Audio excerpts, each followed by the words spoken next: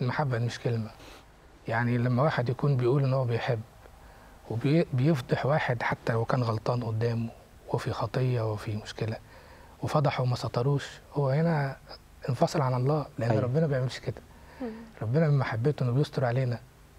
يعني الإنسان اللي يقدر يفضح حتى لو باسم الخدمة هذا الإنسان خرج عن rule المحبة الحقيقية.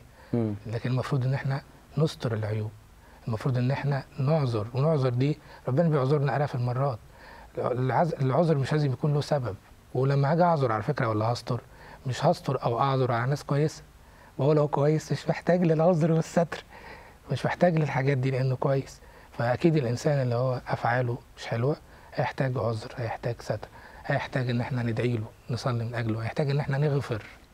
ولما نتأمل أكتر أو نفهم أكتر بيكون عندنا كمان تفسيرات مختلفة. يعني مثلا الناس بت... مثلا تقعد تلخبط ما بين الستر والتستر. يعني مثلا تتستر على جريمة ربنا ما يحبهاش لكن تتستر على خاطئ واحد عمل خطية واحد مش عارف إيه بتاع شفته وقع في خطية. ده الستر. لكن ما. ينفعش تشوف على وتقول لي أنا التوبة. بستر عليه. ما مش بتستر عليه بتتستر الفرق. عليه. يعني واضح الفرق بين إنك تكون في شهادة لازم تكون شاهد فيها في الحق صحيح. ما تسترش. فيعني مع- مقصود إن أنت إيه ما تتسترش آه. وفي فرق بين إنك تكون أنت فضاح للعيوب. صحيح. بتبص على العيوب ده وتقول ده غلطان وده المفروض يتحاسب وده المفروض يتعمل. يعني النظرة دي ربنا كان العكس يعني لما تشوف مثلا المرأة اللي أثبتت أثبتت في ذات الفعل ربنا عمل إيه لما شافها؟ قال لها هل أحد ادانك ولا أنا أدينك ولا أنا أيضا. دي بيعلمنا إن إحنا نغفر حتى في- أبانا الذي هي يعني عنوان الصلاة عندنا هي اللي بيقول إيه؟ واغفر لنا ذنوبنا كما نغفر نحن أيضا للذين يسيئون إلهي. إلينا. يبقى رقم واحد على الأقل نحاول إن إحنا نغفر للذين يسيئون إلينا ونستر على الناس اللي غلطت في حقنا. على الأقل. عشان أبعد حتى عن حتة التستر دي خالص. يبقى أنا على الأقل اللي بيغلط فيا الترجمة العملية للمحبة عشان أثبت في الله وأثبت في آه، أفعاله وأقواله الجميلة. إن أنا على الأقل ما أشوفش عيوب حد حتى لو كانت يعني دي ليا أنا شخصيا جاية متوجهة ابروزها. وأتعمد إن أنا أبينها يعني واظهرها أنا أقصد في ناس بتتصيد يعني يقول لك. إزاي تكلمني كده؟ إزاي تعمل كده؟ أنت ده عمل معايا كذا وكذا وكذا أنت ما تعرفش أنت ما تعرفش ده الشخص ده مش كويس. في ناس تتضايق لما حد يتكلم على حد كويس يعني ألاقي فلان بي بيمدح في حد أنت بتمدح طب تعالى أنا أقول لك أنت ما تعرفوش ده- ده صفته ده صفته زائد أصلا الكلام ده غير منطقي.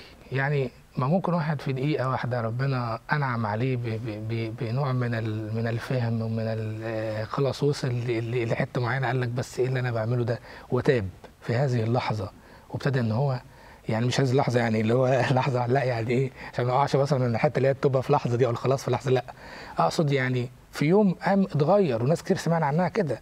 يعني مثلا موسى الأسود ما في يوم غير حياته من إلى فطبعا أنت تعرف منين إن هو دلوقتي هو نفس الشخص القديم؟ عشان تقول لا أنتوا عارفين أنا أنا أعرف عنه كذا وكذا. زمان حصل. لا ممكن يكون النهارده هو شخص تاني. ممكن يكون هو اتعلم من أخطائه وخد خطوات جديدة. وربنا اداله فرصة إنه يدخل السماء. على فكرة في نقطة مهمة قوي إحنا بنقفل باب السماء وباب الرحمة في فشوش ناس كتيرة جدا. لأن لو كنا ادينا لها أمل كخدام وكناس عندنا في مجتمع حوالينا لو كنا ادينا له أمل إنه لأ يبص قدام منه وإن في فرصة وانه مهما كانت اخطائه حتى لو كانت حقيقية وصعبة وإزاي تتعمل لا في فرصة إن هو يعمل أفضل.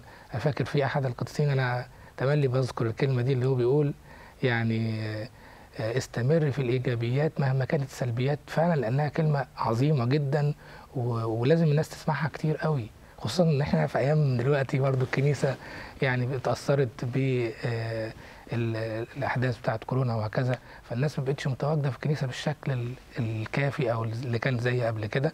فمحتاجين طبعا دي حاجة جميلة من خلال القنوات الجميلة يعني الفضائية دي اللي إحنا محتاجين نسمع فعلا يا ريت يا ريت لو كلام تقدروا إيجابي. نقدم الحاجات الإيجابية والأمل إنه لأ يعني ارمي ارمي اللي فات ده وراك وبص دلوقتي ممكن تعمل كتير. نعمة ربنا على فكرة يعني كل ما تطلبون يكون لكم أول حاجة اطلبوا اولا ملكوت, ملكوت الله وبره. لألا نقع مثلا عشان ما حدش يفتكر إن أنا أي حاجة أطلبها وخلاص.